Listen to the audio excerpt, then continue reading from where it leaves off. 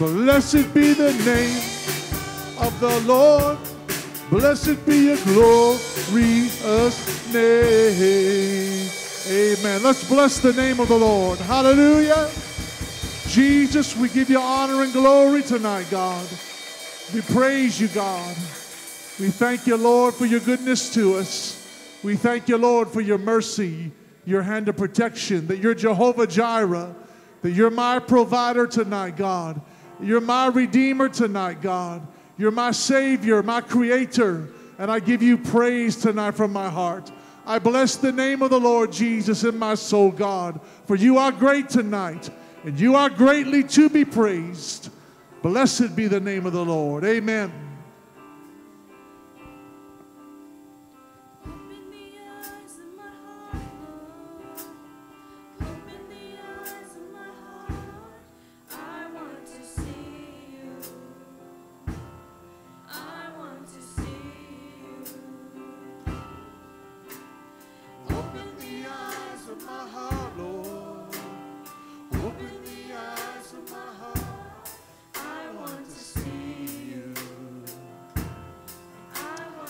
Want to I want to sing that again. Sing it again. Open the eyes. open the eyes of my heart, Lord. Open the eyes of my heart. I want to see you. I want To see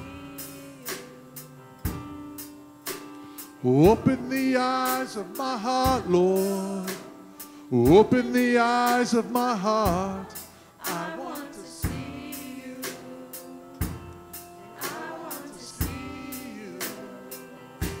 To see you high and lifted up, shining in the light of your glory. Pour out your power and love as we sing, Holy, Holy, Holy. High and lifted up. Oh, you're shining in the light of your glory. Pour out your power and love. We sing holy. Sing that chorus again. To see you high and lifted up, shining in the light of your glory. Pour out your power and love as we sing. Oh, say it one more time. Oh, to see you high and lifted up. Oh, shining in the light of your glory.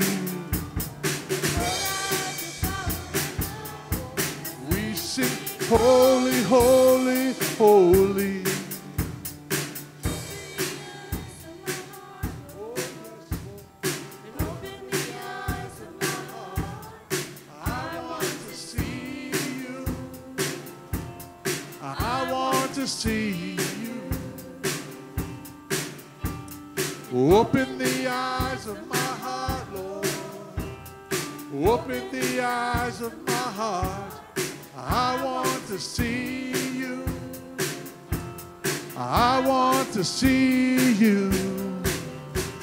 See you high and lifted up. Oh, shine in the eye of your glory. Lord, pour out your power and love as we sing, Holy, Holy, Holy, to see you high and lifted up. Shining in the light of your glory. Pour out your power and love as we sing, Holy, Holy, Holy. Holy, holy, holy. Holy, holy, holy. Holy. I want to see you. Tell them that tonight. You're holy,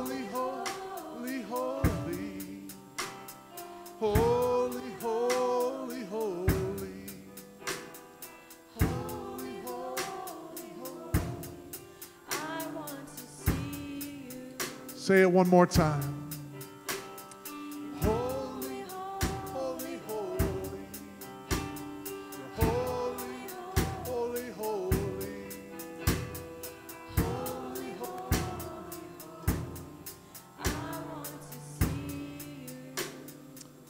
Jesus, we want to see you, God. You said you're coming back, God.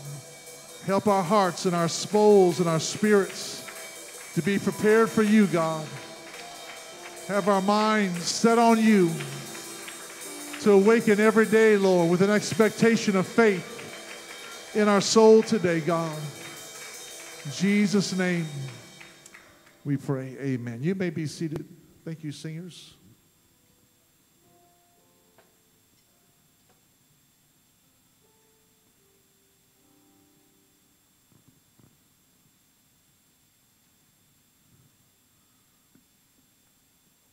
I want to say a couple things about what's going on with Israel. We're teaching on something different, but with it being so relevant and what's taking place in the news, our country, we've already put a battleship group or, or uh, aircraft carrier group in with ships. There's like they said, six to ten out there. We have another group that's leaving Virginia going. And since Sunday, we found out there's a lot more uh, Americans that were either killed or taken hostage. I'll wait till God stops talking there and laughing.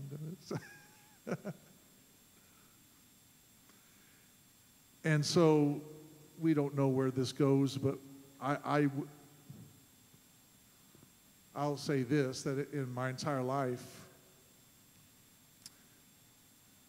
in my entire life, uh, we've never had this happen, except you go back to 1973. And uh, so this is, this is relevant, this matters. And another reason it matters is, of course, isn't it funny in 2023, just like it has for thousands of years in this book, it revolves around what? Israel. Is that amazing? That tiny little country, the world news revolves around Israel. So, wh- why does Israel matter so much? Well, the time clock of Jesus Christ is not based on America and it's not based on any other nation in Scripture. But the time clock of the Lord's coming all revolves around the nation of Israel. It's based on what's happening in Israel. And when Jesus Christ in the Word of God says he returns, he's not returning to the United States. He's returning to Israel, the Mount of Olives. And the Bible says that he'll go through the eastern gate. If you know anything about the eastern gate, it's been sealed off. It's 16 feet thick of cement. And in front of the eastern gate, they have put a cemetery where dead people are. And in Jewish custom and law, you, if you go through where, if you touch dead people, go through that, you're considered unclean. Therefore, you cannot go into the holy place. And so it's amazing, of course, in Scripture that the Lord decided, well, that's where I'm going. I'm going into Israel to the Mount of Olives and then through the eastern gate. And the Bible says that He's going to come, He's going to rule, He's going to reign for a thousand years, and there's going to be a final battle that's not fought in the United States of America, but it's fought in the land of Israel. It's fought in a place called Megiddo, the Valley of Megiddo. If you want to see what that looks like, you can Google that. Just Google the Valley of Megiddo, and you'll see it. And that's where the scriptures teach. And so, right now, with all that's going on, the scripture says this this is Zechariah 2 and 8 that when you touch Israel, you touch the apple of God's eye. And then Genesis 12 and 3, the promise to Abraham, the father of Israel I will bless those that bless you, I will curse those that curse you. And in Psalm 122, the Bible commands us to pray for the peace of Jerusalem in Israel. And so there's a great relevance to, first of all, what events take place there. That's why we talk about it, we pay attention to it. Let me add something else about all this. How many have paid attention to all the college campuses who are having rallies that are pro for Hamas in Palestine? Here's the problem. Yes, we should care also about the Palestinian people. We should care because there's probably a lot of civilians there who do not want to be led by Hamas. I bet there's a lot that, that are a part of that too, though. But there's a lot, I'm sure, in millions of people that live there, a few million that do not. But here's the problem with, and this, this is a undergirding problem of our whole country, is these college age students go to Harvard and these type of universities, and they are indoctrinated. Everyone hearing me? Because we're talking about doctrine tonight in the teaching. They are indoctrinated with teachings that come from professors who are anti God, number one. They're anti God. So when it comes to all these other things that we talked about before this took place, that's the foundation is they're anti God. But when you, when you delve deeper into what's taking place, they rationalize and say, well, Israel is an occupier. And Israel, it's also important that the women and children and the people of Palestine not be killed and destroyed. Here's the huge difference. Listen, huge difference. Israel has never, ever gone into Palestinian homes and slit babies' throats, decapitated their heads, killed their mothers and their fathers. One woman was killed with her baby coming out, and the umbilical cord is still attached. I mean, I, it's unbelievable how grotesque it is. And taking innocent people who have nothing to do with war or fighting or anything. Israel, that's why we call Hamas a terrorist group, because they bring terror. Remember ISIS, just like ISIS did. And so, why in America we have a generation of young people who are so biased against truth that their discernment is lacking because they always side on the anti-God side. If you on every issue, on every issue, they slide on the anti-God slide. Those same ones though, they won't say a word about a baby who's 8 months and 3 weeks in a mother's womb and in some states you can take and commit murder is what we call it. They call it abortion. You can commit murder on that baby and it's considered legal, and they won't say a word about that. They'll make all these issues about women being abused and raped in America the uh, last couple years with the, the Me Too movement. But then when Israeli women are being taken off and raped, and t- there's no women's rights being talked about by these groups now. How many see what I'm talking about? There's such a drastic difference between the two. And so that's why we are so pro Israel according to the scripture. And then you just got to use common sense. Here's what I really believe we have a generation that is blinded by spirits. And that's all Bible. That's what I really believe. These young people in these colleges that are going today it was a huge rally day on behalf. I saw females with passion. They really believe what they're saying. With passion. Uh, not for the Palestinians, for the Hamas. For the ones that slit the babies' throats and cut their heads off. And there's one picture they showed, and I'm sorry to be so grotesque, but it's just the truth. And it would help people to understand how vile this is. There's a pool of blood in the baby's crib from it. And yet, she passionately, not for Palestinian women and children, no, for these men who did such vile, vulgar things. So that's why we pray for Israel, the peace of Israel. And as my point of view as your pastor standing here tonight is I am all for Israel defending themselves, protecting themselves, and uprooting those vile, vulgar people who did this to their nation. You have a right to defend your family. You have a right to defend your home. There, there's heroic stories that have come out of one of the kibbutzes had no deaths because a 23 year old army young lady, she went and unlocked the armory and guns were given out and they were put in strategic positions so that when the terrorists came, when she realized what was going on, the terrorists came into their kibbutz, she was prepared as all of them were in different positions that they ambushed the terrorists. They killed 20 something and the rest they, they went away, they defended, no one died. Whereas, of course, in others where they could not defend themselves, they were slaughtered like animals. And so we, uh, we want to always remember to do what the scripture says pray for the peace of Jerusalem. But when you have people like that doing things like that, and they can lay silent for years and then rise up and plan, um, I just am saying these things because we have young people in this church. I, I know we're, we're, we're low in attendance and missing some folk, but you young people that are here tonight, you, you teenagers, you 20 somethings, you need to stand for the things of God and not get these college campuses that are teaching this vulgar, vile, and these kids who are your ages, some of you, and they're going up and having rallies and they're pro these things that are so wrong that their discernment is so lacking. I am so concerned for America. I am so concerned for America that we have come to this place and we have some people in Congress who need their butts voted out. Not because they're Democrat or Republican or independent or what's the other one? There's another one, whatever. No, no, not because of none of that, but because they're vile, they're vulgar, and they're anti God.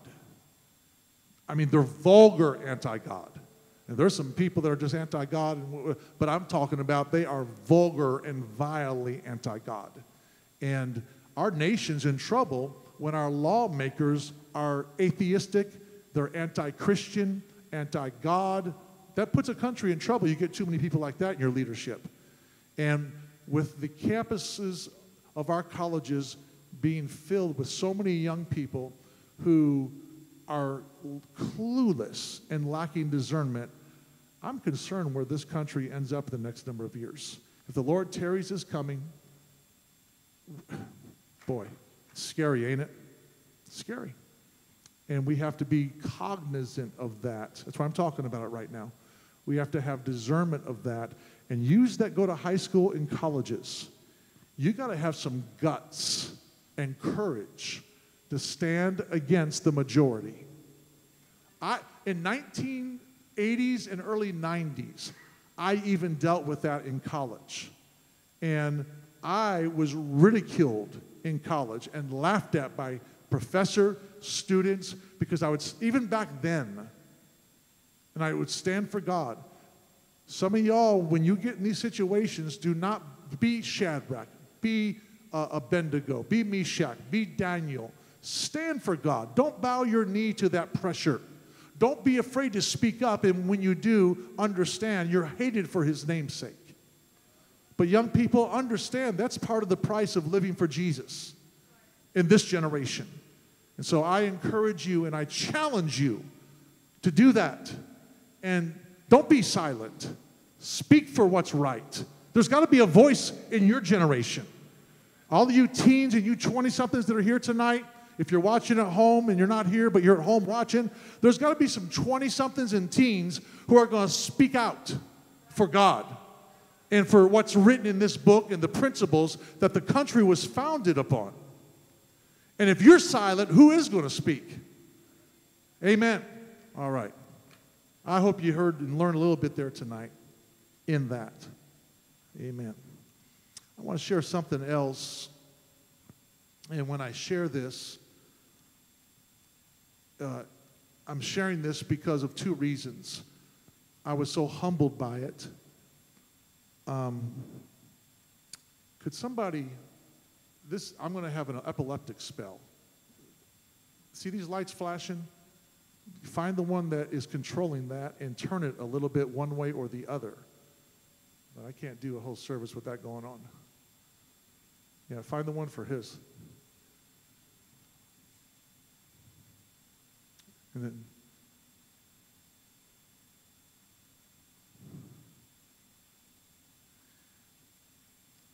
I received an email, and I want to share it because, number one, it was a huge encouragement to my life today. I received it today.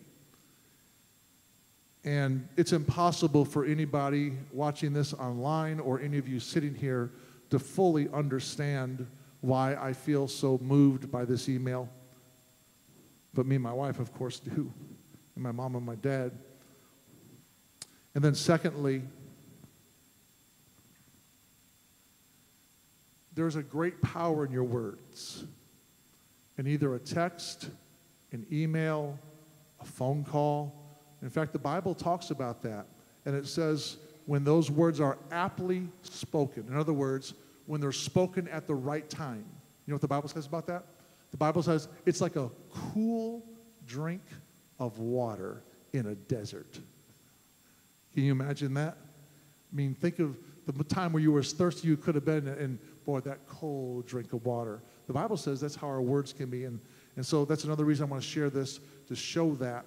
I'm not reading it to make myself look great because it, it speaks to my life and to me.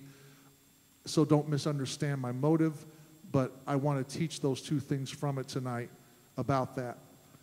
And this man is a bishop of a mega church in America. It's in the Chicago area. And it would be considered a mega church. He's on television all the time. He's preaching a camp meeting right now, travels the country. Someone that my father knew before when I was a little kid, and then he's older than I am. And then uh, I knew him for most of my life.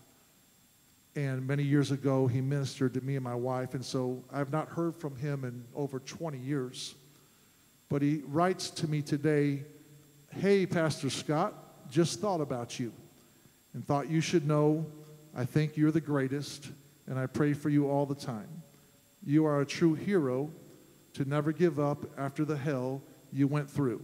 And he put in the word hell about 10 L's, which I found funny.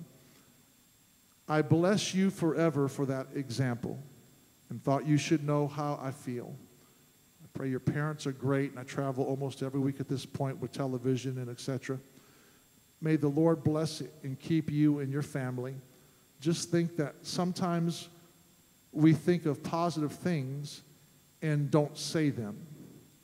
I am preaching a camp meeting and just thought Pastor Scott should know he's one of my heroes. A little smiley. Bless you, Dan Willis. Isn't that beautiful? But the point I want you to get out of that, just think that sometimes we think of positive things and we don't say them. I was very moved today, and my wife, because of, of his influence to us many years ago, and then him just saying those things to us because of who he is. I don't mean this wrong, but in the world of church and all that, I would be like a little peon compared to what he's doing and who he knows and where he's exposed. So for him to take the time to think about me and to email me, I, I just thought was incredible. But the principle out of this and the lesson is there's a lot of negativity in our world. Let's follow the example he gave to me today in that emails, text, words can really encourage somebody. Amen? Even family members, even in marriages, things like that. And so let's all work harder at that to really minister to somebody. And I sent him back an email and told him how he ministered to me and today and how humbled I was and moved in touch. And so I thank God for that today uh, in my life. A couple more things. I uh, spoke with a, a, few different ministers today. Uh, we're actually texting, not actually talking, but Brother Andrew Suarez, they'll be arriving tomorrow. And so we look forward this Sunday. He'll be in church preaching Sunday morning, and then Sunday night after church, or Sunday night rather, at 6 p.m. in our Spanish service. And then a week from tonight, next Thursday, he's here again preaching. He'll have his wife with him, and he'll have his two boys with him. So it's going to be fun. We look forward to them being with us.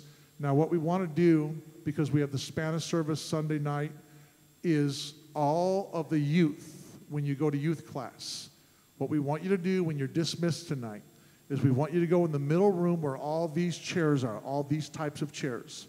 And all you youth, we want you to help bring all those chairs out that door, through that door. And uh, Brother Jose, go stand right in the middle back there. Brother Jose, go stand right in the middle back there. Yeah, there you go. See where Brother Jose is? What we want to do, we want to keep aisles on the left. And we want to keep aisles on the right, but we want to put uh, a whole section of chairs right there. Young people, you see what I'm talking about? Where Brother Jose is.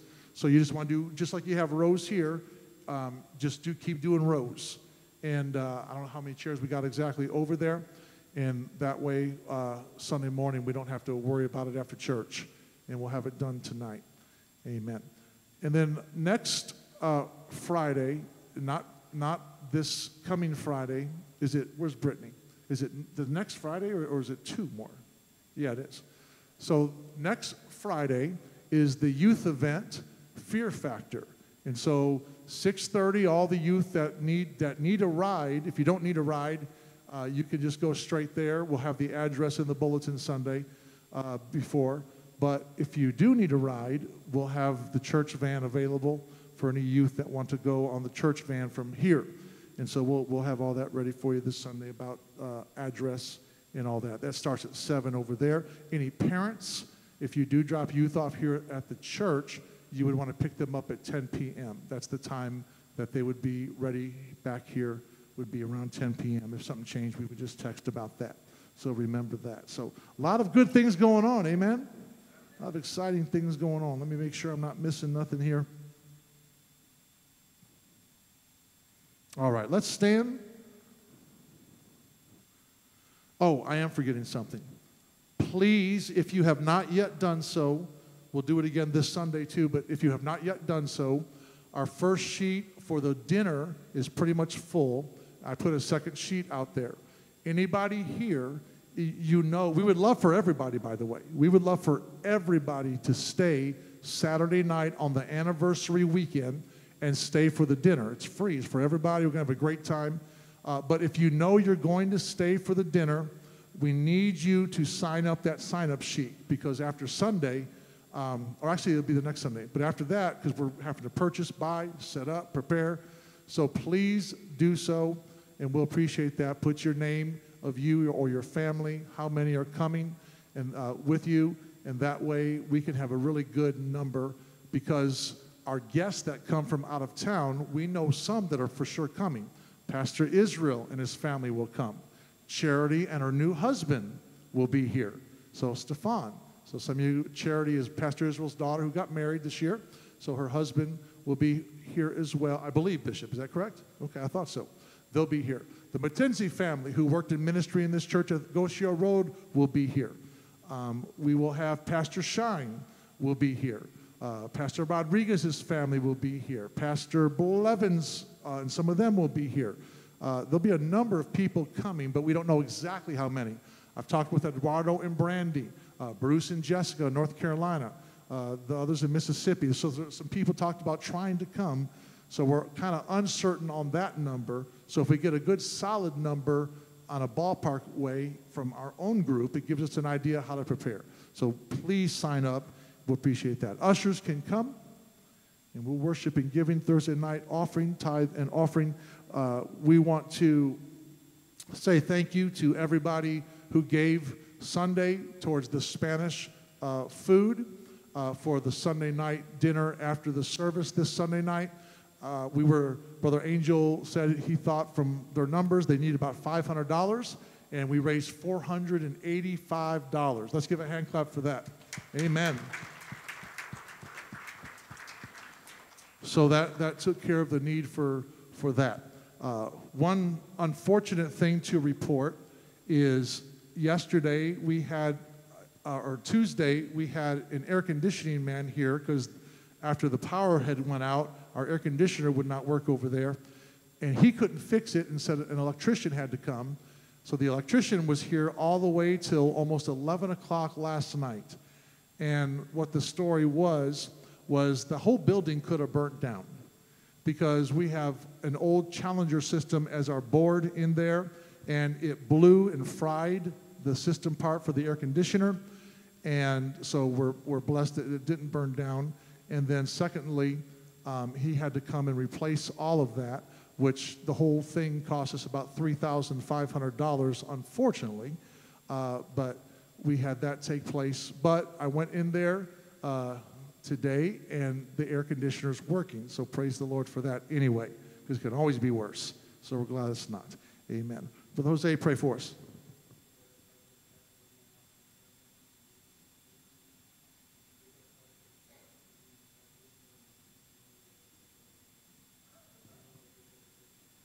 Amen. If you have something to give, march with it as the music plays.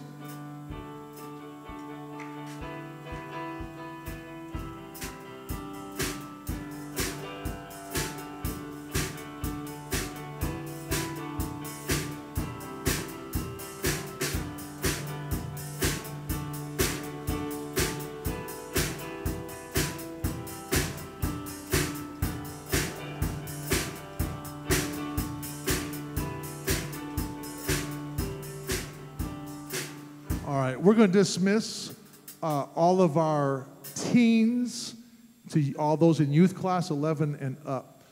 Uh, now, here's what we're also going to do.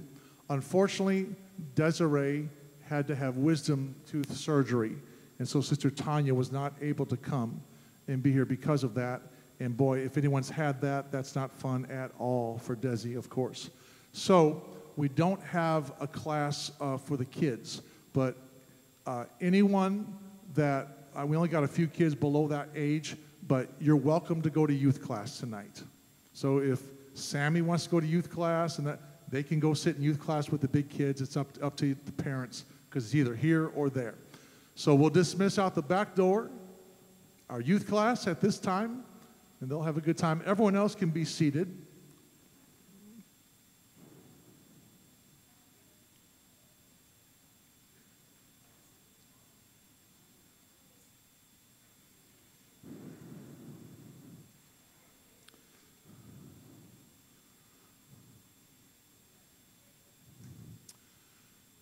And Olivia, Olivia, Olivia, can you go to the PowerPoint and set that up before for me? Just activate number four. And once you do that, I can control it up here. If you're online, we welcome you to go along with us here as we keep on teaching about truth and doctrine from last week.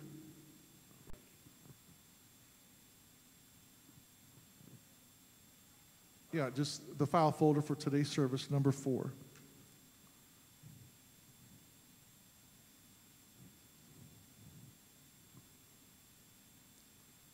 You can X that whole thing out. The service, file folder, the date of today's service. There you go. Thank you. So last week we introduced about being, uh, being aware of false teachers. In fact, you know, the Bible teaches there's 13 things in Scripture to beware of. 13 things the Bible says beware of. One of them, by the way, is beware of dogs. of course, it's not talking about pit bulls, symbolic. But it does say that. It says, beware of dogs. Beware of false prophets. Beware of the religious. That's interesting. Beware of religious doctrine. This is all in the New Testament. Beware of covetousness, always wanting more of something, never satisfied, never content. Beware of evil workers. Beware that you're not led away with the error of the wicked. Beware of surfeiting. By the way, that's not surfing on the waves of California in the Pacific Ocean, but it's excess eating and drinking. In other words, if you go into that, it's beware of being consumed with carnal appetites, is what that's talking about. Beware of drunkenness. That's why we just draw a line on alcohol. I don't have a scripture that says you're sinning if you have a drink of alcohol, but I've got scripture plenty that says you're sinning if you're drunk. So I have two questions when it comes to alcohol. At what point does God say you're drunk and you've sinned and you're going to hell? I'm not risking that. Where is that line? Right? Secondarily, all you need is common sense on that one. Alcohol has destroyed so many people, so many families, personal to me, even. So it's just a line we draw. There's 75 verses that talk about that, two of them in a positive sense, And the alcohol of Scripture is much different than the alcohol of today, by the way. And 73 of them basically say this about alcohol watch out, beware, stay away from it. Amen, somebody? Beware of the cares of this life. Wow. Beware of the cares of this life.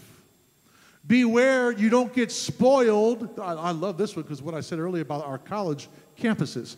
Beware you don't get spoiled through philosophy. That's what's going on on college campuses right now.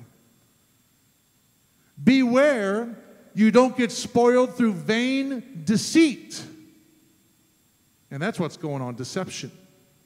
Vain deception. In other words, teaching on things that are deceiving because they profit nothing with God or for eternity.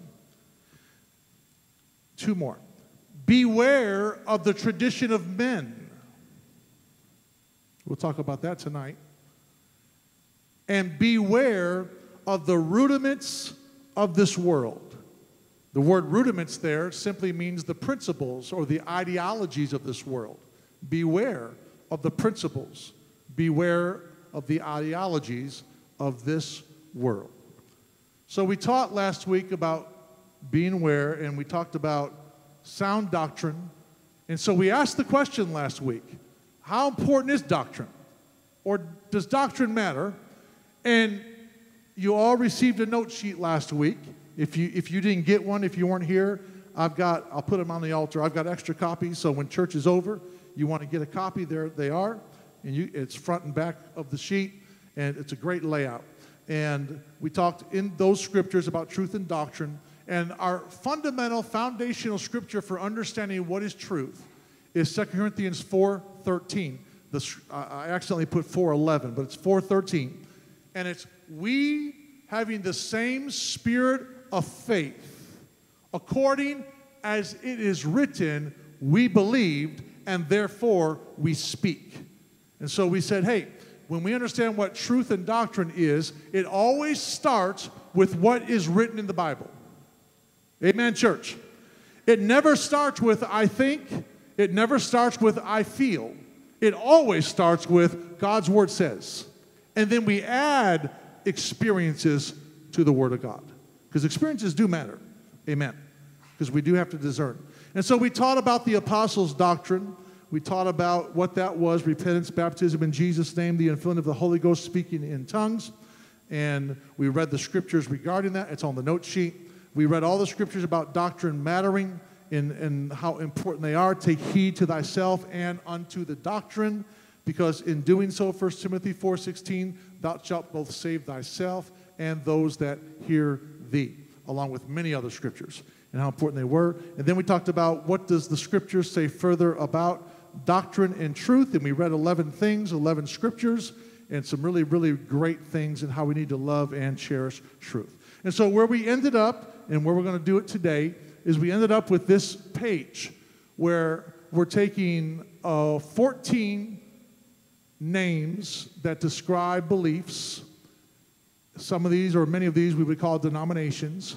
And we're going to examine each of them and see what it is, according to Scripture, that they match or they do not match. And so we start with the Catholic Church. The, ba- the Catholic Church, now, I'm going to say two things about this as a preface. Number one, in each of these denominations, there are always groups within them who do not believe exactly the same. For example, how many know there are some Catholics who believe in the Holy Ghost, speaking in tongues? There's Catholics like that. So, number two, we said this last Thursday. There are many people on this list of denominations who love God just like you do, just like I do. They are just not in full counsel of truth yet in their life. God hopefully is going to keep bringing them, and they have to choose to accept or reject that truth. So I want you to understand that uh, about each of these. So this is not an indictment on individual people. This is, make no mistake about it, this is an indictment on belief systems. The belief system of the Catholic Church. I'm attacking that when I do this tonight. I'm coming strong against it, and here's why. I can't cover anything and everything of each of these, so I'm highlighting some of the major things that I can talk about in our time. You know, I don't have you here for five hours. The Catholic Church baptizes, and we talk, let me, let me say this, because I want to talk about baptism a lot tonight. Pretty much every one of these denominations, as a system or ideology, they do not baptize according to what's written in the Bible. And the reason that's important is because baptism is a part of our redemption. Many of these churches teach it's, an, it's an outward uh, sign or example of an inward act of God. Well, the Bible doesn't say that anywhere, number one. It's true, it is. It's not a bad statement, but it's a denominational statement that's not written in Scripture. Here is what's written in Scripture We are buried with Christ in baptism, we put on Christ in baptism. Be baptized, every one of you, in the name of Jesus Christ. He that believeth and is baptized shall be saved. Here doth now also baptism now save us. See, baptism is part of our redemption. Why? Because it's part of the gospel. If you understand what the gospel really is, the gospel is Jesus. And Jesus is the death, burial, and resurrection. That's 1 Corinthians 15, 1 through 4.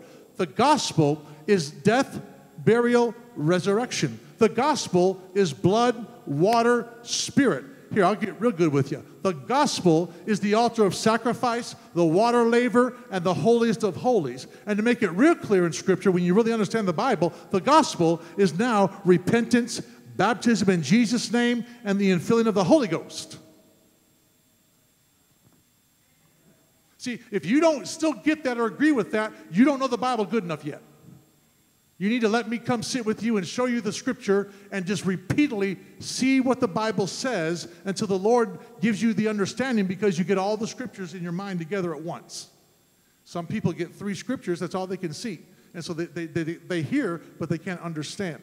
And so we understand that the scriptures, all of them speak. And so when it comes to baptism, when it comes to, well, Pastor, Romans 10 and 9, the Bible says, uh, confession of the mouth is made unto salvation. Isn't that salvation what you say just with your mouth? The answer is, I believe that 100%. And I also believe you better repent too. And I also believe you better get baptized in Jesus' name too. Why? Because I got a bunch of scripture that says that too. See, it all counts what I don't understand with these denominations is why they highlight a couple scriptures and all the other scriptures that I can quote off the top of my head like they don't matter. We take the full counsel of the Word of God. That's how we easily disprove what is error and what is truth. And so when it, that's why when I talk about baptism, baptism is part of redemption. It's part of our burial. It's, it's part of being planted together in his likeness. When you start reading all the Bible verses on what baptism means, these churches don't have a clue. It's some, sin no, no, it's very important to God. And that's why we got to do it the way he says it. So the Catholic Church, they baptize by sprinkling. That's not biblical. They baptize by pouring. Or, and also, they baptize babies. Let me do this. I'm going to go, I'm going to put them all up here. And then I'm going to the next screen. There we go. Baptizing babies is not in the Bible anywhere. It's wrong. It means nothing. It, there's no salvation in baptizing a baby. There's no anything in baptizing a baby. It's basically you gave a bath to a baby. How many understand that? That's just Bible. There, there's no scripture for it. It's a tradition of men, a commandment of men, invented by men, never by God. Secondly, the Catholic Church baptizes in the titles the name of the Father and of the Son and of the Holy Ghost. So they repeat what Jesus said in Matthew 28 19, and they never obey it. It's like me saying to Brother Denny Youngsma, Brother Denny, go out to the church sign and paint the pastor's name on the church sign. I come to church Sunday, and Brother Denny has painted on the church sign the pastor's name. You find that humorous. Why? Because it's obvious the mistake he made, right? He repeated what I said, he didn't obey what I said. So, what would I say to Brother Denny? I would say, Brother Denny, Why did you put that on there? Because you said paint the pastor's name on the sign. So I put the pastor's name. And I would say, Denny, I thought you had the common sense to know what my name was. In other words, if you ever called me by my name, you would never in a million years say pastor, father, son, right? Husband. You would, that, that's who I am. That's my titles. That's my roles. That's my function. That's my manifestation. But my name is Scott. So if he did what I said and obeyed it, he would put Scott Shelby, right? So many of these denominations, including the Catholic Church, they repeat the command, they do not obey the command. And someone has said to me before, does that really matter if their intent was right? My answer is this What's so difficult but just doing what it says? I mean, is it really that hard? See, listen, there's a spirit behind that. There's a error and a pride in that spirit of not doing it in Jesus' name. Satan hates the name of Jesus. No one cast a devil out in the name of the Father and the Son and the Holy Ghost. And no one got baptized in the name of the Father and the Son and the Holy Ghost. That's not in the Bible anywhere. It's done every single time in the name of Jesus Christ for the remission of sins. So, my answer always to that question is what's so hard just about doing it? Why not just do it? Are you following me, church? Are you, are you following me online? How simple is it just to do it? Why would anybody ever risk such a thing? I don't understand it. I'm not God. I don't know absolutely all the answers. I just know God got technical in the scriptures. Hey, Noah, I want you to make an ark. Here's how I want you to make it exactly. And here's how many know there's different types of wood you could use to build something? Noah, gopher wood. Gopher wood. Hey, Cain, Abel, build an altar and worship me. It's pretty religious. It's pretty good, worshiping God. Take the best of what you got. They take the best. Hey, Cain, I don't receive this. Wait a minute. I worshiped. Wait a minute. I built an altar. Wait a minute. I gave you my best. And God comes, nope. Do it again and do it right. Is that Bible or not? That's Bible. Well, Pastor, you did. It's not me. Your, your, your argument's not with me. Anyone's argument at home, it's not with me. Your argument is show me one place where anybody was baptized any other way after Jesus resurrected than the name of Jesus Christ. Show me. And so my, my answer always is why are you so stubborn? Why won't you just do what the Bible said? What's with all the questions? Once God shows you that truth, just do it. Acts 19, they got baptized. They were baptized by immersion, and the Bible comes along, and Paul finds out they weren't baptized in Jesus' name. You ever read it? Acts 19, 1 through 6. They were believers, they were disciples. They weren't sinners, they were church folk. And Paul found out, and the Bible says he commanded them, and they didn't sit there and have an argument. They didn't sit there and say, now, wait a minute, we all, no, no, no. The Bible says they got baptized. That's precious. Once you hear truth, do it. Well, the Catholic Church, they baptize in titles. The Catholic Church prays to dead saints. Yeah, we already talked about sprinkling, Bishop. Important. They pray to dead saints. They pray to Mary. That's the sin of idolatry, one of the Ten Commandments because you can't pray to humans, other humans besides Jesus Christ, who was a human, God in the flesh. We only pray to Him. They believe in purgatory, which is a place of purification of sin before you go to heaven. There's one problem with purgatory it's not in the Bible anywhere, it's not written anywhere. Anyone following the trend on this one? The Catholic Church is the biggest cult in the world. They're the biggest cult in the world. They're teaching a bunch of nonsense that's not written in the Bible. So that's why, and one more thing, I, I, mean, I could keep going on this, by the way. No holiness, which I find common in many of these right here. Holiness is separation of the world. Holiness is, hey, we draw lines and we don't do those things. They're wrong. If we, if we do them and we make a mistake, we repent and we get back on the right pathway because we're not perfect.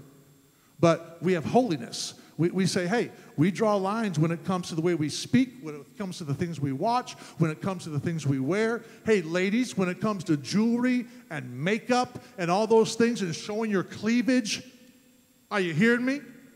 There's some lines in the scripture. They're not, they're not Anchor Church. They're not Pastor Scott. If you say you're following God, you need to learn what the word says about that stuff. Because if I'm a good pastor, I'm not going to ignore it. That's why I just said it just now. It's in the Bible. You have a responsibility that if you're going to obey God and follow God, that you're going to say, hey, I'm going to draw some lines of holiness, not just on inward things, but outward things. It's no secret to anybody here. This world is built on sensuality of the female body right now. Go look at advertisements everywhere. Go look at social media and look at these teenage girls and 20 something girls who all they're doing, they want to show their bodies off. Why? Because they get followers and they make money off it. Oh, I'm just speaking real and I'm speaking raw. But if you're going to follow Jesus, this ain't following Anchor Church and this ain't following Pastor Scott. This is follow. Are you going to follow Jesus or not? Then you got to draw some lines. Amen. Hey, guys, it's not okay to cuss and swear. It's not. All right. You get the point. All right. So, they disappear from the screen because they don't follow the scriptures that it's written in the Word of God. All right, let's go to the Baptist church. The Baptist church. The Baptist church does not believe in speaking in tongues. They're very strong against speaking in tongues. Now, to look at me because I'm going to talk for just a moment. The reason they believe that it's wrong is they say that according to 1 Corinthians 13, as there's one scripture that is used, and there's a number of denominations on the screen that say the same thing about this. They don't believe in speaking in tongues because they say speaking in tongues was for the apostles' day, and that's it. No one else was to speak in tongues besides them. Well, I, I personally have a fundamental problem with that because that means they're calling me a liar. They're saying I'm a faker because I've spoken tongues since I was nine years old. So I have a problem with it because that makes me a liar or a faker, or I'm right. And it's not me that's right, it's the Holy Scriptures that are right. So who's right and what's right?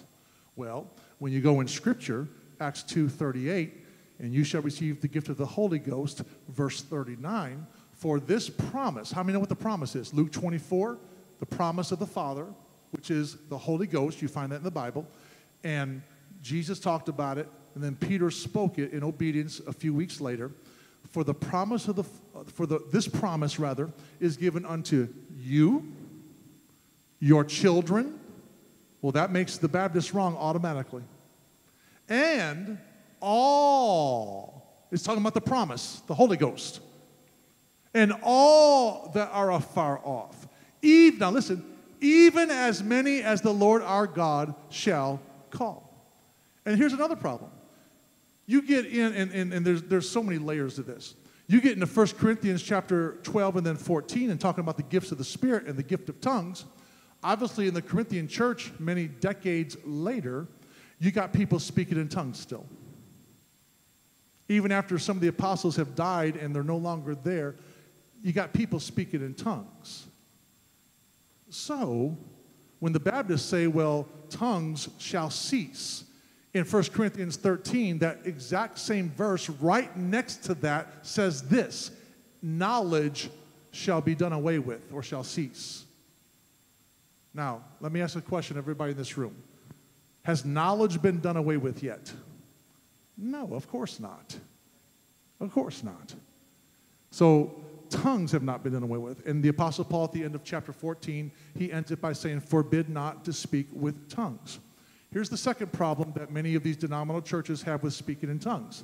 We teach according to the scriptures, and I could sit down with you for 30 minutes and show you without any ounce of any doubt whatsoever, if you say this is your authority, that when you receive the baptism of the Holy Ghost, how do you know? Well, Acts 2:36 tells us it's something you can see, it's something you can hear. What does the scriptures teach they saw and they heard? We know, of course, speaking in tongues. And then we know further into Acts chapter uh, 8 that Simon the sorcerer that they had prayed for the Holy Ghost. They had repented. They had miracles in Acts chapter number 8 with Philip. They had great joy in the city. They were believers. They had repented. They had been baptized. They had done everything right, but no one received the Holy Ghost. The Bible says that. Not me. The Bible says that. Only the Holy Ghost had fell upon none of them. So they sent for Peter and John, who, when they had come, prayed for them that they might receive the Holy Ghost. And the Bible says that when they laid their hands upon them, they received the Holy Ghost. And the Bible says that when Simon the sorcerer saw that the Holy Ghost was given by the laying on of hands, he offered them money, saying, Give me that like same gift that whosoever I may lay hands on may also receive the Holy Ghost. And they look at him and simply say, Dude, no, that's not the Bible, but dude, let your money perish with you. The gift of God is not about money, man. In other words, he didn't get it. He was clueless what was taking place. So, but what I'm trying to teach you is obviously it was a separate, distinct experience from believing and from repenting and from baptism. All these denominational churches teach that you are filled with the Spirit when you believe on Jesus Christ. Show me where that's written in the Bible. Show me. It's, all, it's said by all of them. Show me where, though. I know the Bible. It's not in there, it's not written anywhere. You know what I can show you? I can show you that you are filled with the baptism of the Holy Ghost, and the initial evidence, tongues, is not the Holy Ghost, it's the evidence that God has done a supernatural act upon you. You will speak in tongues as the Spirit gives the utterance. And it may be two words, five words, ten words, a hundred words, a thousand words. And you may not know have, there's, there's a heavenly language, there's a language of men, and there's a language of angels. The Bible teaches those things. You're not going to know what you're saying. It may come out like baby language the very first time, like it did for me. But thank God it happened. And now when I speak in tongues, you know when I speak in tongues. The point I'm making to you is when you go and read the scripture in Acts chapter 10 at Cornelius' house and Acts chapter 19 with those that have been baptized, you find both places showing us very clearly that when they had laid hands upon, they received the Holy Ghost. Verse 47, Acts chapter number 10, and I think it's verse 48. For they heard them speak with tongues.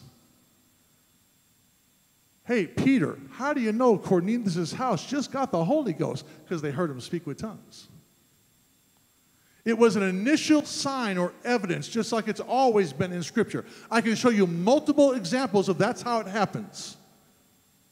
See, I'm just teaching what's written in the Bible. The Baptist church is against that.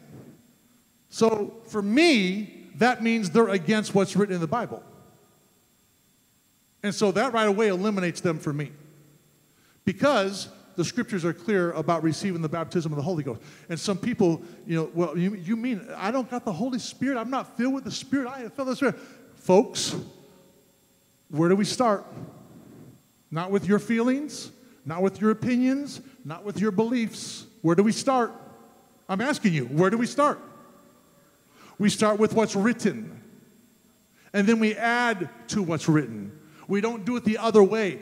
That's how you get error when I can clearly sit down with anybody in this room or in the world and show you in 30 minutes a more in depth teaching of what I just said in the Bible, and, and, and listen closely.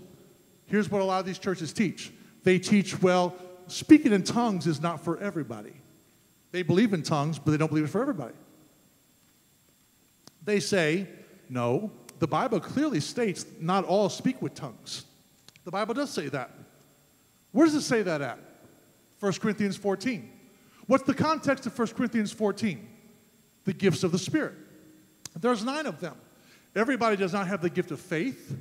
Everybody does not have the gift of healing. Everybody does not have the gift of prophecy. Everybody does not have the gift of speaking in tongues or the gift of interpretation of tongues. Is that true? That's true. Everybody does not speak in tongues as one of the nine gifts of the Spirit. God divides them severally as He will. So everybody's not used in all the nine. There's gifts I'm not used in, some I am used in. It's just the way it works. We let God figure that out. So the ultimate question is well, wait a minute, Pastor. If the Bible says not all speak with tongues, and you get into that chapter 14 and read about that, then how are you saying what you're saying? Because that's referring to the gift of tongues. The whole chapter is about the gifts of the Spirit, and it's referring to they were misusing and abusing the gift of tongues, and there was confusion in the church. When you read the context, how do you know? It's real simple. First of all, Paul said, at, let at most be two or three that speak. Well, all I got to do, first of all, is go to Acts chapter number two. It wasn't 12 apostles in the upper room. How many were in the upper room? 120. They all spoke with tongues. There was no gift of tongues. There were those there on the streets that understood them, but there was not an interpretation given according to 1 Corinthians 14. When you go to Cornelius' house, that's more than two. When you go to Acts 19, that's more than two or three. When you go to Acts 8, it's a whole city. Are you following me? See, in the Bible, when people receive the Holy Ghost as the baptism of the Spirit, they always spoke with tongues. Always. It's the initial evidence and sign that God's performed a supernatural act. Well, then, Pastor, why doesn't everybody receive it that way? Because people don't believe that and people don't seek that. And why don't they? Because of pride. That's the biggest issue. It's prideful. There's no shame because someone has never spoken in tongues. I was, I give my life to the Lord, and went a couple years, I never spoke in tongues. So, first of all, for everybody in this room, if you're watching online, there's no shame because you've never spoken in tongues or I've only spoken in tongues once or there's no shame in that. The shame is when you don't do your part. What's your part? You got to believe. You got to repent. You got to get baptized. God can't make you do anything. The outpouring of the Holy Ghost, that's His. Our job is to be open vessels. Our job is to say, Here I am. Our job is to take the lid off. Oh, come on, somebody. Our job is to say, Lord, I want it. That's in the book of Luke. He loves to give the Holy Ghost to them that ask for it. You ever read it? So our job is to say, I'm going to come to the altar and I'm going to pour my heart out to God. And if it happens, great. I want it.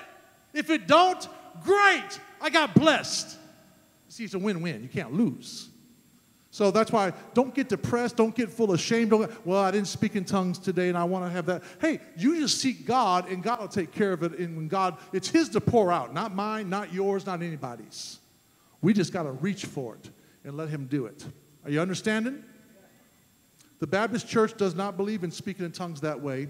If you want more understanding, by the way, on that lesson, I'm going to teach a whole lesson on a Sunday morning about that down the road. But I'd be more than willing for anybody. I'll come hang out with you. We'll go out to eat somewhere. We'll go, I'll come to your house. We'll come here, whatever. Just say, Pastor, I want to get with you. My life is to do this. So I'll, I'll teach you more. I'll show you in the Bible, and I'll help you understand better.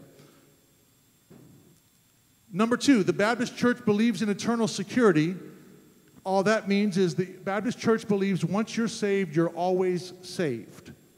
They use certain scriptures for that. I did a whole teaching last year on that subject. So there's a whole teaching on that that I've done. I do have note sheets for that. If you want it, let me know and I'll email it to you. The Bible nowhere teaches once saved, always saved. Some of the scriptures they use is, you know, once you can't be plucked out of the Father's hand, that has nothing to do with it. I can go to parable there's, there's definitely two huge ones where the Bible says the believers is appointed their portion with the unbelievers, where there shall be weeping and gnashing of teeth. In the scriptures, the only place that's written where there is weeping and gnashing of teeth is the lake of fire. It's hell. Okay? So it shows right there in two different places that believers can be appointed with unbelievers for eternity in the lake of fire. That's Bible. There's, you can't argue that. That's why I sat down with a, chapel, a chaplain one time, and he raised that issue with me. And I said, read this. Evidently, he don't read the Bible or the whole thing. Because when he read it for 20 minutes, he never looked up. He never said a word. It was awkward, too. It was, it was just silent because you could tell he was, it was, it was like I was a boxer. Hit him three times in the face with a jab, and he didn't know what to do. You, do you see what I'm trying to say to you? In other words, light hit him, and evidently he didn't had never read that, and he was shocked by it. He didn't know what to say back to me because you can't. You can't argue what's written. And so there's plenty of other scripture. I, I taught on that. If you want the teaching, I'll, I'll, print the notes for you or email them to you and give them to you. And uh, you can see in scripture, there's so many verses that refer and, and give us the absolute understanding that once you're saved, you're not always saved. That's a false teaching, eternal security. Most Baptist churches, not all on this one, but most Baptist churches have no holiness these days. In the old days, that wasn't true.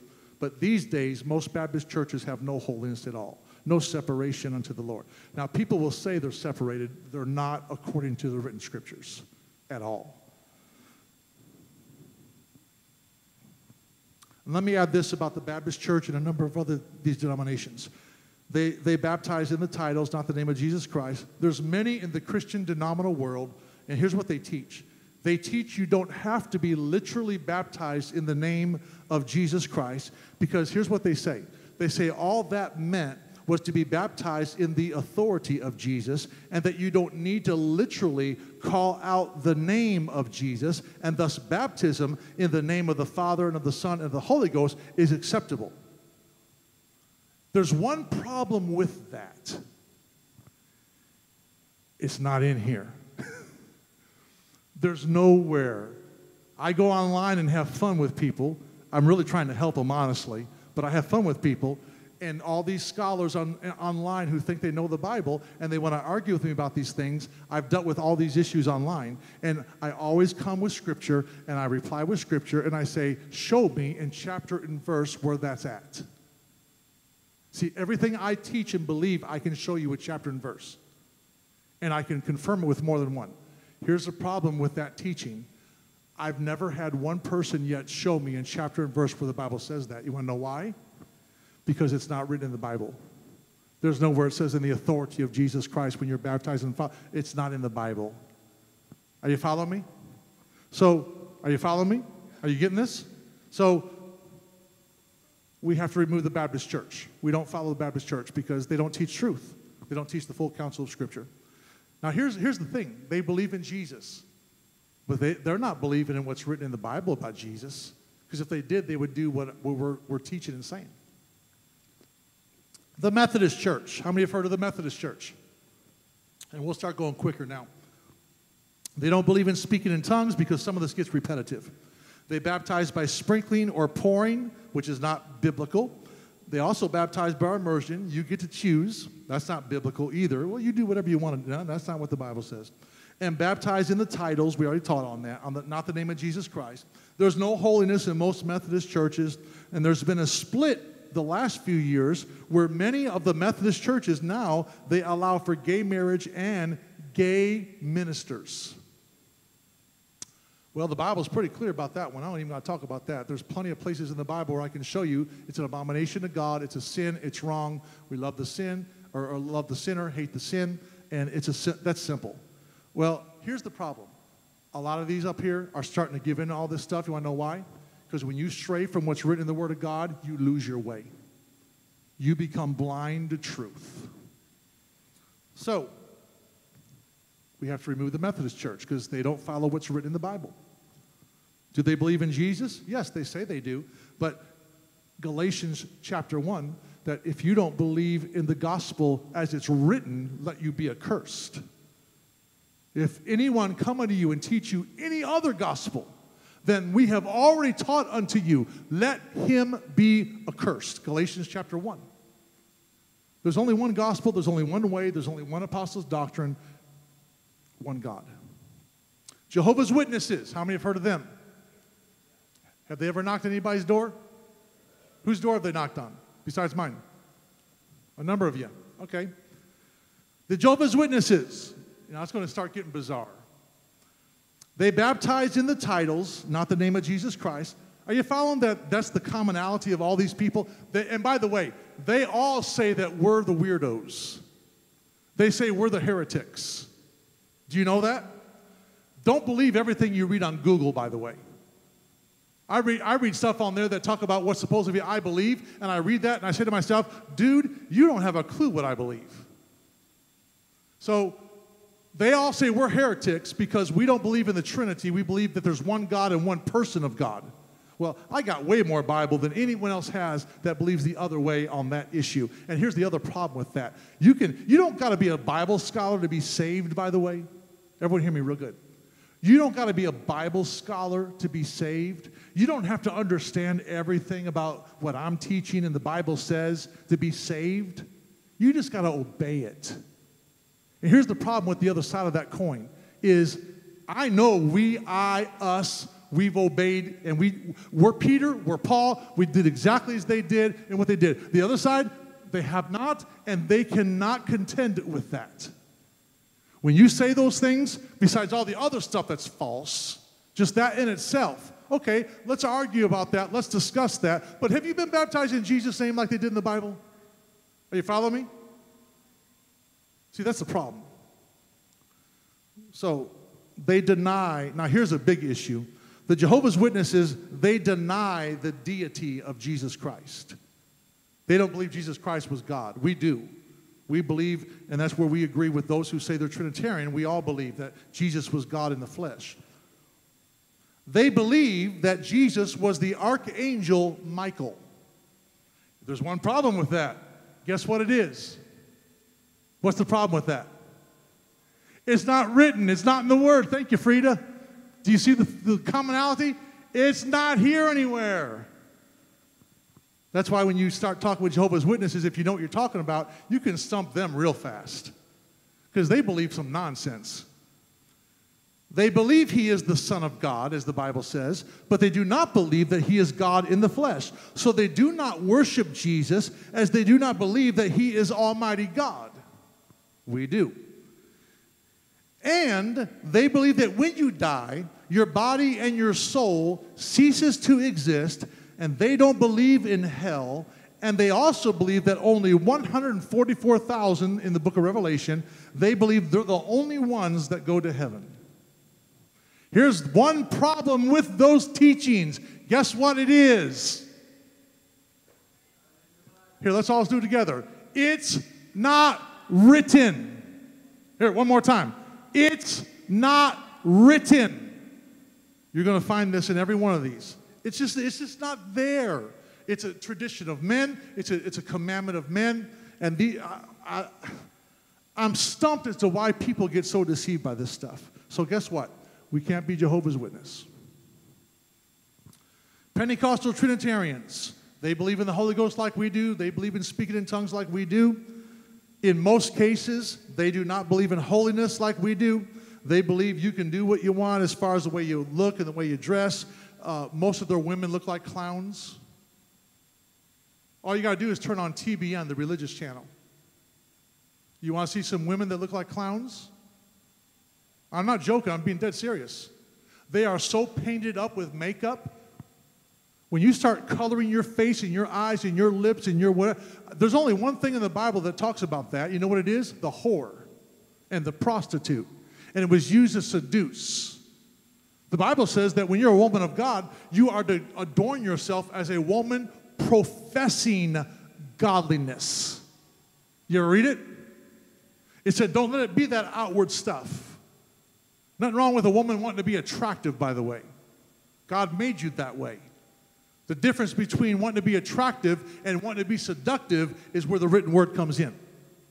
Nothing wrong with a woman wanting to be attractive. God made you as a female to be pretty and to be attractive. It's wrong when a woman wants to be seductive. You follow me, women? And that's a whole teaching in itself.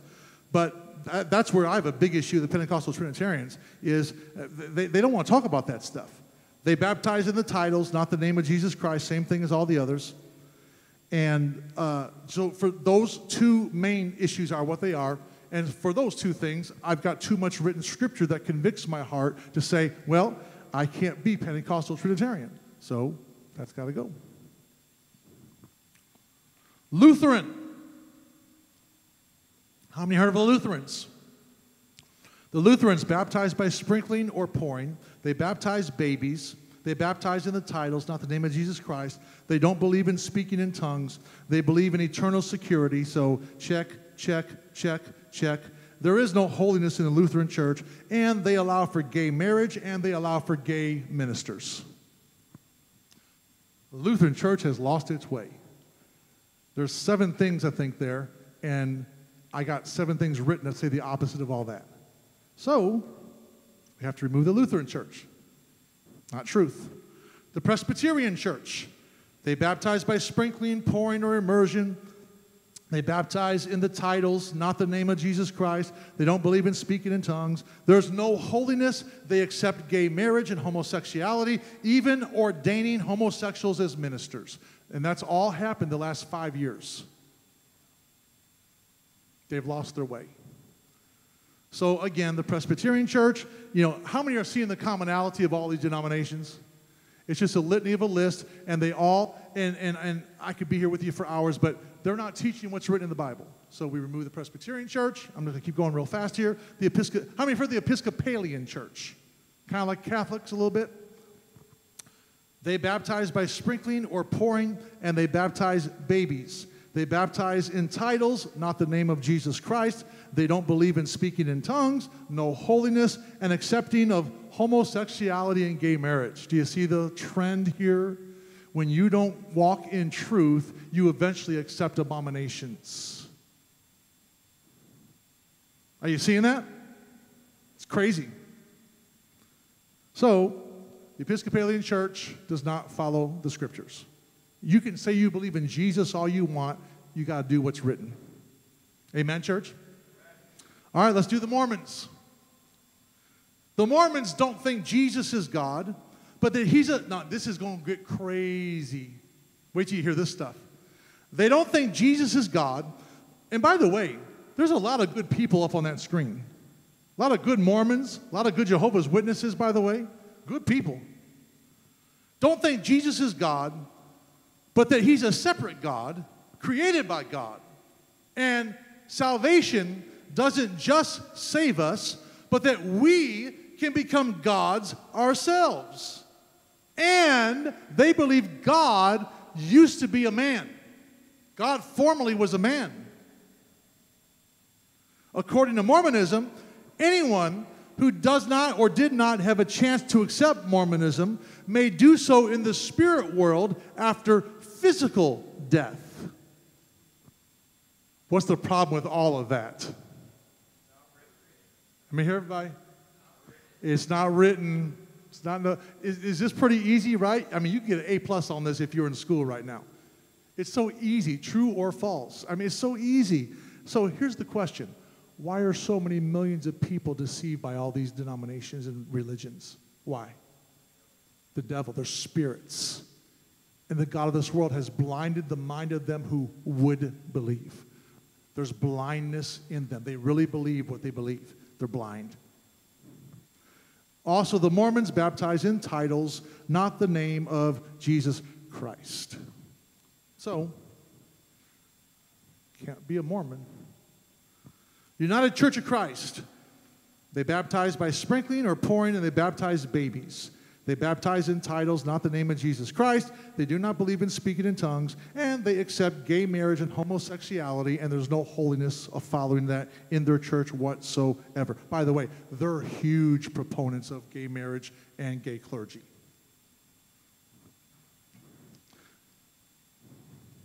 Can't be United Church of Christ. They don't follow what's written in the Bible. The Nazarenes. They baptize by sprinkling or pouring and immersion also. And now, by immersion, by the way, is the correct way in the scripture, but pouring or sprinkling is not. But they let you choose. They also baptize babies. They baptize in titles, not the name of Jesus Christ. They don't believe in speaking in tongues, and there's no holiness in the Nazarene church. I had three families who were Nazarene that I've pastored years back who we won out of the Nazarene church. I had to go to their apartment once a week for months and teach them truth to get them to unwind from a lack of understanding of what the Bible says. Because they were conditioned to believe certain things, and they had to read it for themselves. So the Nazarene church, just like all the others, they don't follow what's written in the Bible, so we can't be Nazarene. Can't follow that. How many heard of Seventh day Adventist? They're the ones that believe you got to go to church on Saturday only. Can't go to church on Sunday. They baptize. Guess how? In the titles of the of Fathers and Holy Ghost, not in the name of Jesus Christ. There is no holiness. They don't believe in speaking in tongues. They believe you must attend church on Saturday because that's the Sabbath day. I don't got time to teach that, but that's foolishness. It's nonsense. It's so easily disproved in the Bible. So, the Seventh day Adventists, we can't follow that for one reason. Why? It's not written. That stuff's not written in the Bible. Got to remove them. Charismatic Trinitarians. I have friends who are charismatic and who borderline on Trinitarian or there is one God, one person, and all that. They believe in speaking in tongues and the Holy Ghost, but they baptize in titles, not the name of Jesus Christ.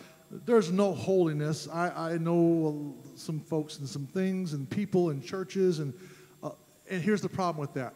Who am I talking about when I say the charismatic Trinitarian church? Well, I'll give you an example. Who knows who Benny Hinn is? You know who Benny Hinn is? Benny Hinn's the guy, just go watch TV, go YouTube it, and he goes, And Benny Hinn takes his coat and he pulls it off and he walks around and he goes, Whoosah! And everybody goes. I'm not joking, by the way. I'm not, if you've watched, how many know what I'm talking about? I am not joking one ounce. It's like, it's like I'm watching Ultraman from 1978 on TV. Crazy. Overly dramatic. Here's the problem with that it's, in my opinion, demonic.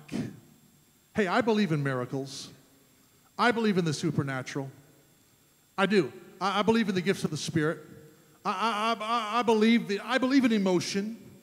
I believe we can be passionate, emotional. Hey, I've had times in my life I've ran around the church, I've jumped up and down, I have fell out in the spirit. Truthfully, it was real. I believe in some of that. Man, they go to a point that is unscriptural. It gets crazy to the point where it is what the Bible calls it's acts of the flesh. And that's, that's a fine line because it's in your flesh that you must worship. But charismatic Trinitarians baptize in titles, not the name of Jesus Christ. Now, here's a, here's a little thing about that. There are a lot of charismatic Trinitarians who do baptize in Jesus' name, by the way.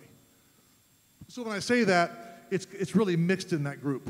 There's a lot who are baptizing in Jesus' name. They won't baptize Father, and Holy Ghost. In fact, Bishop, how many know Happy Gospel Church over on State Road 70?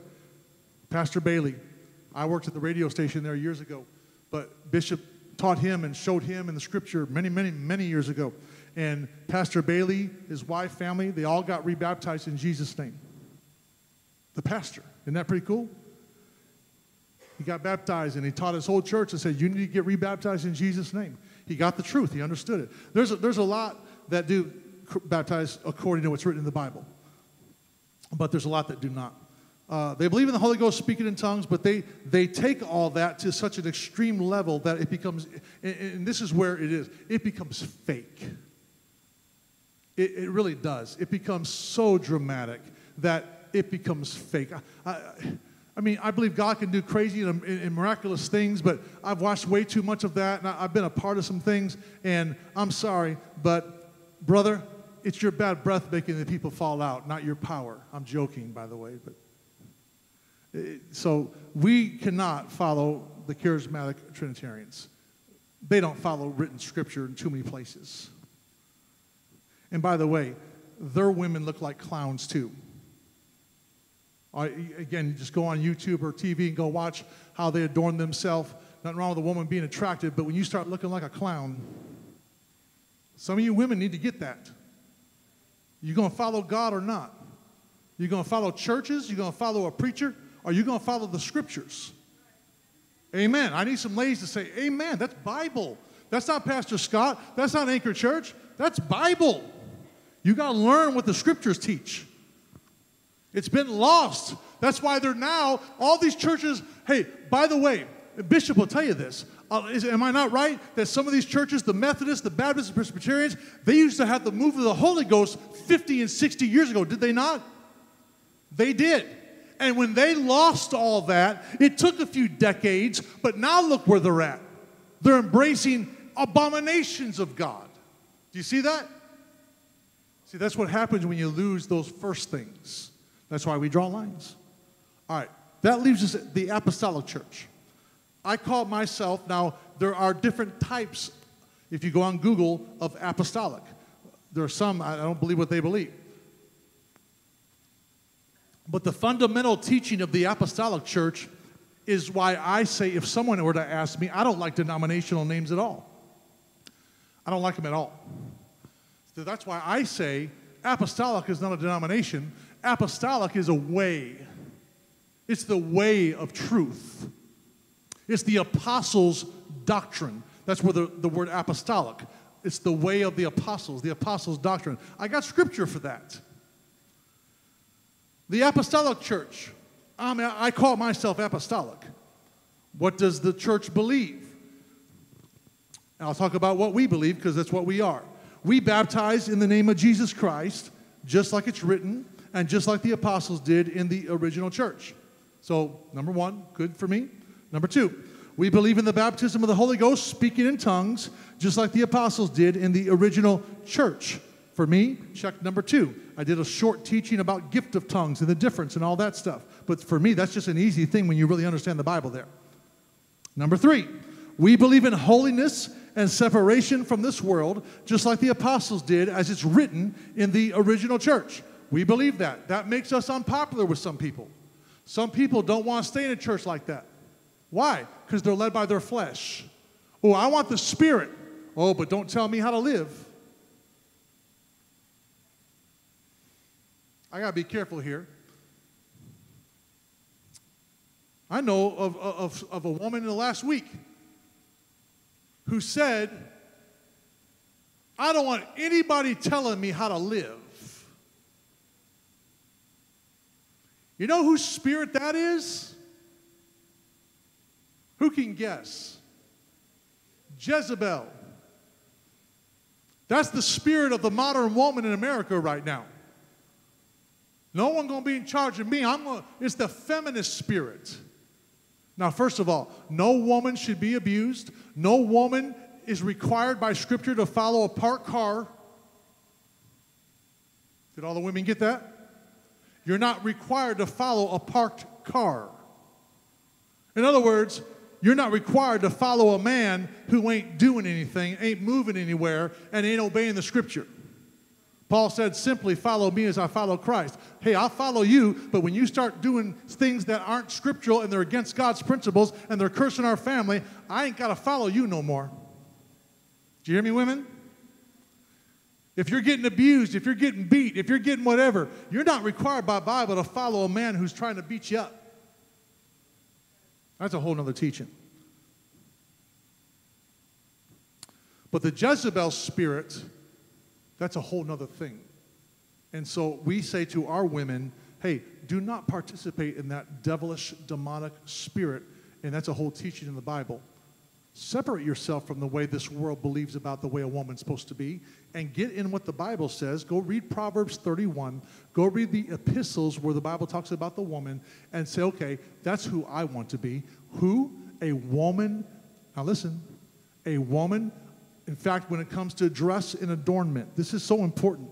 No churches, they don't want to teach on this stuff. It's all Bible. I want to be a woman and I want to be well, The Bible says, I'm going to be as that which be, I dress as that or adorn myself as that which becometh a woman that professes godliness. What's that mean? Modesty. Here's the problem with that word. The Bible don't give you a list. It gives you principles. So we got to be careful and well, okay, pastor, what is modest? Here's what I say. Common sense. It's all adults in here, right? There's no is there any kids? If they are, they're sleeping. Okay. That means this, women. You don't show your boobs off. You don't show your butt off. Are you hearing me? You can be attractive without being seductive. You follow me? I'm just being raw and I'm being real. There's a part of the church world today and the world in general that does not want to teach these simple, absolute principles written in the scripture. I am apostolic because that's what we teach. When we bring all our girls to a youth conference in St. Louis, and there's 36,000 young people mainly there, there's some adults as chaperones and some adults there, but mainly it's youth. You know what our youth go there and see? They see a bunch of girls and young ladies who are dressed like females and they're dressed modestly. That's why your boys also and your girls need to go to the youth things we go to like that. Why? They need to see this is way bigger than just this building. There's thousands upon millions in the whole world that believe just like this. And they need to see how big that is and how many people are trying to live just like them, trying to, like we teach, and say, hey, you don't need to do that stuff. Let's stand. We believe in holiness. We believe that you don't, don't listen, listen. We don't believe you listen to any kind of music you want to listen to. We don't believe that you can just watch any kind of movie you want to watch. You follow me? Teach your kids that. Because this world through Hollywood will steal your kid's head. We don't allow them to do whatever they want on social media. Huh? There's got to be some lines, and we got to draw them. Let's pray. Heavenly Father, I thank you for the patience of your people, for those that have watched this online, for those that are here in the church watching and hearing and listening to this. I pray for revelation. I pray according to the scriptures that you would open their minds, help them to see, help them to know what truth is, and that we say, hey, I'm apostolic, not because of a de- denomination, because it's just what we believe as it's written in the scriptures. We follow the apostles' doctrine. Help us to do it because it's right, it's written, and it's the word of God. In Jesus' name we pray. And everyone said, Amen. Amen. All right, we're dismissing. They're going to be bringing the stuff in. Some of you younger guys too, Anthony, David, Nathan. You know, uh, uh, help us help us out a little bit as they bring these chairs in. Kind of help get it situated in the middle there.